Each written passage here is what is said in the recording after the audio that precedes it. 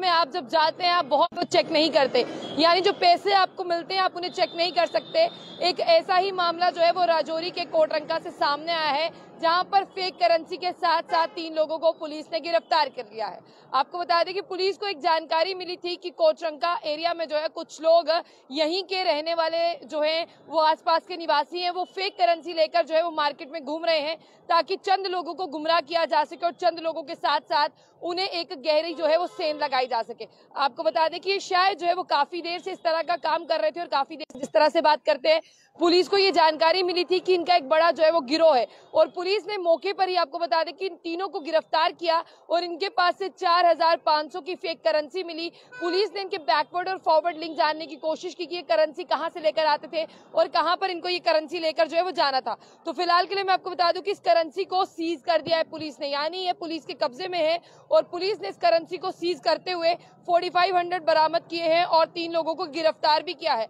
Police को जानकारी मिली थी कि कोटरंका में तीन लोग जो हैं वो फेक करेंसी लेकर घूम रहे हैं और ये बताया गया कि ये मार्केट में जाकर जो है वो फेक करेंसी डिस्ट्रीब्यूट कर रहे हैं ताकि आसानी से हमारी जो फेक करेंसी है, यानी जो नकली नोट है, ये मार्केट में चले जाए। और आपको बता दें, पुलिस को मिली जानकारी के अनुसार पुलिस जो है वो वहाँ पर पहुँचती है और इन तीनों लोगों को गिरफ़्तार करती है जब इनकी तलाशी ली जाती है, जब इन्हें चेक किया जाता है, इनके पास से जो है, इनके कब्जे से मतलब फोर्टी जो है वो बरामद होते हैं।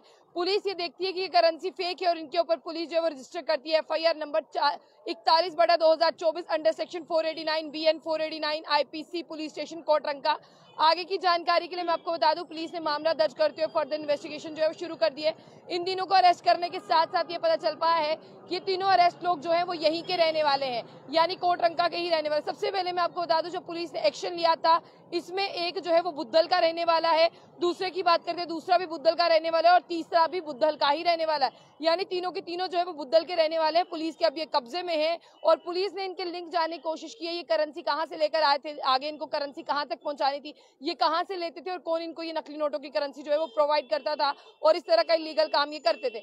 आपको बता दें कि पुलिस ने जो है इसी महीने के जो महीना चल रहा है, पहले हफ़्ते में पुलिस ने जो है वो अरेस्ट किया है। द वाइफ ऑफ़ लक्ष्य तैयबा कमांडर तालिब शाह उसके भाई को भी जो है, उस ब्रदर इन लॉ को भी, यानी आपको बता दें, उसे भी जो है अरेस्ट किया गया है। उसके साथ साथ एक और व्यक्ति को अरेस्ट किया गया है, कोटरंका से ही। और आपको बता दें कि जब उनसे इन्वेस्टिगेशन हुई, उन्होंने जो है एक आईडी बताई कि आईडी यहाँ पर है।